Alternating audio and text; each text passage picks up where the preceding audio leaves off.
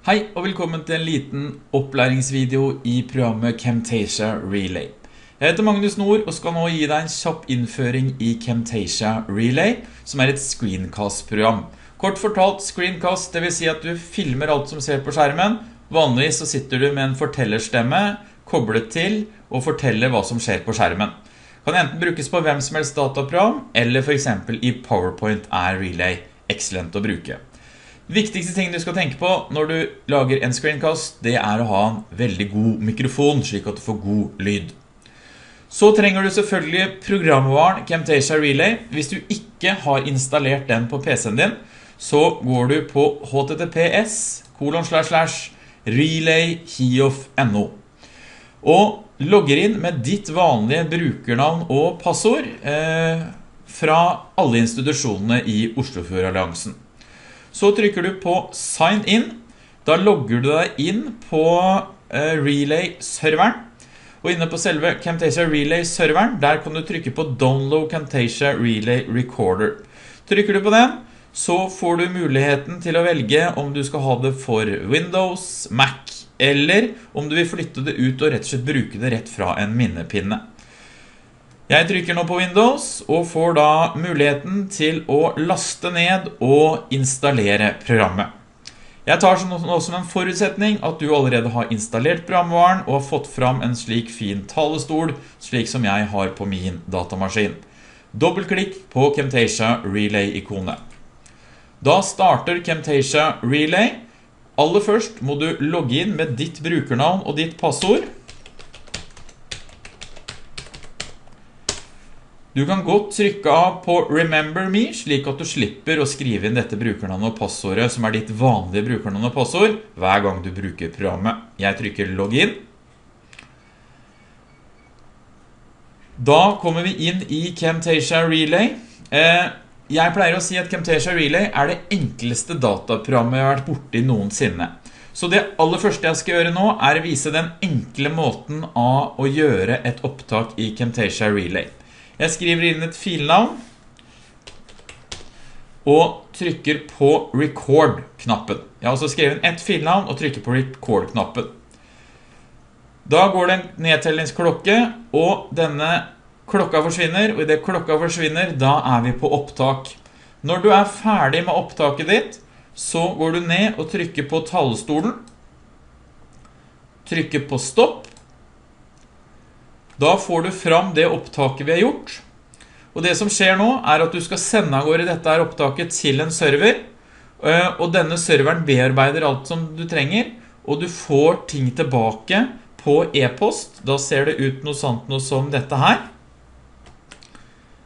Her har jeg fått en mail tilbake der det står eh, hvilke forskjellige typer formater jeg har fått. Jeg har fått Flash, og jeg har fått for iPad og iPhone og MP3.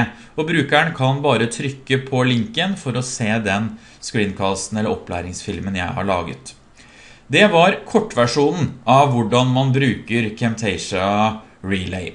Her kommer en litt mer omfattende versjon. Jeg går inn eh, i Camtasia Relay. Jeg skriver inn en eh, forklarende titel på hvilket opptak jeg skal gjøre, og jeg skriver inn en kanskje litt mer utfyllende forklaring av hva dette her er for noe. En ting du bør sjekke ut først, det er at du har koblet til en riktig mikrofon som har en, eh, et utslag på et meter. Hvis du titter her nede på audio, så ser du at vi har et lydmeter som må ha et utslag eh, for at det skal bli lydopptak. Hvis vi går på mikrofonikonet, så får vi fram en oversikt over alle de mikrofonene vi har tilgjengelig. Det kan selvfølgelig se annerledes ut hos deg, det gjør sannsynligvis det. Husk på at det går an å bla seg nedover her, må scrolle seg nedover for å finne alle de mikrofonene som er tilgjengelige på din datamaskin. Et trikk som jeg ofte bruker for å finne ut at jeg bruker riktig mikrofon, det er at jeg slår litt på mikrofonen, slik at jeg ser lydutslaget samtidig som jeg ikke snakker for å være sikker på at jeg velger riktig mikrofon hvis jeg ikke er helt sikker på hva den heter for noe. Eh, den neste tingen som er veldig lurt i forhold til dette med å drive med screencast, det er denne hotkey-knappen som er bildet av en sånn rød record-knapp. Inne på hotkeys så er det muligens ikke valgt noe hos deg. Jeg anbefaler at du velger F9 som pause, record, og F10 til å stoppe opptaket med. Veldig praktisk hvis du plutselig kommer i en screencast. Det tar veldig mye tid hvis du hele tiden skal begynne på nytt. Hvis du plutselig er tomt i hjernen din i forhold til hva du skal si for noe, trykk på F9, prøv deg fram, tenk på hva du skal si for noe, så trykker du på F9 igjen, og så fortsetter opptaket uten at sluttbrukeren merker at du var i tvil. Nå har jeg allerede valgt ut noen F-knapper her, så den feilmeldingen kommer ikke hos deg, slik som den kom hos meg. Da er jeg egentlig klar for å gjøre et opptak. Før jeg starter opptaket, så vil jeg alltid gjøre klar det programmet som jeg ønsker å ta opptak fra. Nå skal jeg vise for eksempel et opptak fra Word. Jeg åpner da programmet Word. Det eneste som skal være åpent over Word, det er Camtasia Relay. Eh, la oss si at nå skal jeg sette inn et, lage en opplæringsvideo i hvordan jeg setter inn et bilde i Word. Jeg gjør meg klar til opptak, ser at det er lydutslag, skrevet inn det som skal være. Eh, de mer avanserte brukerne eh, kan velge forskjellige valg her.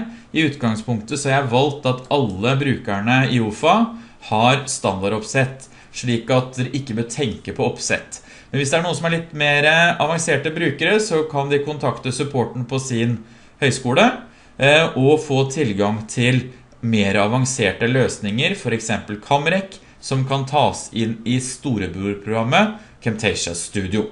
Men for den vanlige bruker så holder standardoppsett mer enn nok. Jeg trykker på Record. Nedtellingen begynner. I det klokka forsvinner, så er jeg klar for opptak, og da må jeg begynne å snakke. Og da sier jeg for eksempel, trykk på skillekortet Sett inn, bilde, finn fram et bilde, og trykk Sett inn. Og så trykker jeg for eksempel da på F10 at opptaket er ferdig. Viktig å ha korte og konsise opptak når man holder på med Eh, opptak i eh, Camtasia Relay. Når man er ferdig, trykker man på ikonet her nede, eller F10 som sagt, og trykker på stopp. Da kommer vi opp i Camtasia Relay vindu, der vi får muligheten til faktisk å klippe vekk start eller slutt av det vi eventuelt ikke vil ha med. Personlig så pleier jeg ikke å gidde å gjøre det, eh, så sant det ikke er noe som absolutt ikke skal være med. Eh, jeg tenker at sluttbrukeren kan jo spole seg fram. Men hvis man vil eh, slette noe, trykker man på trimming. Si nå at jeg skal ha vekk den klokka som står på slutten her. Jeg drar da eh, denne eh, på slutten, hvis trykker, jeg trykker her på den høyre her, og så drar jeg den her innover eh, til jeg ser at eh, klokka forsvinner. Her måtte jeg vise ganske langt inn. Når jeg er fornøyd med det utdraget som jeg vil ha, så trykker jeg her borte igjen, slik at kun nå herfra og ut forsvinner i sluttopptaket. Kan gjøre det tilsvarende på starten hvis jeg måtte ønske det. Når jeg da er eh, ferdig, filmen er sånn som jeg vil ha det, så trykker jeg på Submit.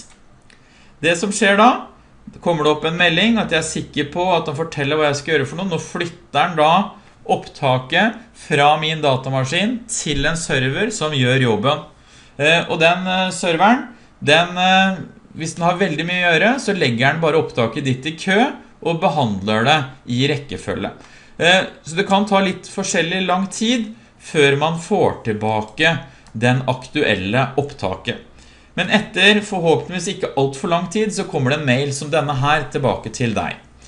Det du gjør da, det er at eh, du må jo distribuere eh, denne løsningen, denne screencasten i disse forskjellige formatene til brukeren. Eh, og det kan du gjøre for eksempel med å videresende denne e-posten til en distribusjonsliste over de menneskene som skal ha dette her. Eh, I OFA så bruker vi veldig mye fronter. Nå skal jeg vise en annen måte som jeg pleier å bruke. At jeg tar med meg all denne teksten og denne tabellen, merker teksten, eh, trykker Ctrl C, eller høyreklikker og velger kopier. Så går jeg over i fronter. Eh, går inn i et eller annet fronterom eller et frontdokument, eller hva det er for noe. Går inn på endre. Går bort her på endre. Her har jeg en ukeplan som jeg nå har tenkt å jobbe med. Går inn for eksempel her på onsdag og trykker Ctrl V eller høyreklikk og lim inn. Her bruker jeg Internet Explorer, og da må jeg trykke på tillatt tilgang. Og så får jeg opp eh, at jeg vil lime inn fra Word. Dette er jo riktig nok ikke Word, men jeg da går da inn i dette vinduet her og trykker Ctrl V en gang til, og trykker OK her. På denne måten så får jeg da inn, hvis jeg nå går inn og trykker på lagre, så vil dere se hvordan det ser ut i frontdokumentet mitt. Hvis studenten sitter på en iPad, så kan den trykke på View som iPad. Eh, hvis dette her er eh, snakk om å se det i Flash for eksempel, så trykker jeg på Large Version i Flash, trykker på View, og han åpner da eh, et nettlesevindu, slik at jeg kan trykke på Play for å starte opptaket. Se for en hel dag. Det er en hel dag. Spennende. Se for en hele dag. Det. Det som er viktig å følge med på, her er det da en slidebar som kommer her nede. Brukeren kan dra seg fram og tilbake i opptaket, trykke på play. Veldig spennende sak hvis du bruker PowerPoint. Det er at alle PowerPoint-slidene dine legger seg nedover denne kolonnen her borte. Og studenten kan hoppe til det aktuelle sliden som ligger i presentasjonen din. Er du flink til å bruke overskrifter på slidene dine, så kommer det fram eh, titel ved siden av et lite thumbnail-bilde av sliden din. Hadde jeg brukt PowerPoint nå, så hadde jeg altså fått mange slider nedover. Men i denne presentasjonen her, som jeg har laget tidligere, så er det bare ett PowerPoint-bilde, og det kommer derfor bare fram. Så Camtasia Relay er excellent til å bruke sammen med PowerPoint. Da ønsker jeg deg lykke til med Camtasia Relay, og husk altså, kanskje det enkleste dataprogrammet i verden, tre tastetrykk og et, et filnavn, og så er du i gang og lagd en screencast som kanskje kan gi nye dimensjoner til din undervisning.